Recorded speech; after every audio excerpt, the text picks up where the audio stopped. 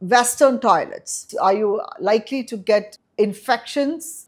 You know, uncleaned. It's obviously visually dirty. It's a different thing, but visually it doesn't look dirty. Uh, and people have thoughts about, oh, I'm going to get a urinary tract infection because I sat on a dirty toilet. Does it have any backing? No. Urinary tract infections are not transmitted from public toilets or common toilets. Whatever urinary tract infections are caused by bacteria which specifically enter into your urethral tract from outside mm-hmm. and this is usually your own bacteria from your own gut. Yes. So the distance between especially in women the back passage and the urinary passage is very, very close. close by. So the chances of bacteria coming in through that and causing infection, especially in women who hold their urine for a yes. long time, mm-hmm. who don't use you know public bathrooms, is very high.